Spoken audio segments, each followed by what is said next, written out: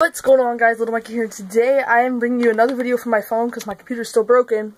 And I just want to let you guys know that it is double XP weekend for Black Ops 3, or just double XP in general. Look at this.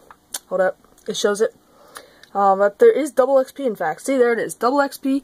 I just figured I'd let you guys know because um, I normally let you guys know when there's double XP in Black Ops 3. So uh, yeah, I'm going to get to playing. Have a great day guys. Peace out.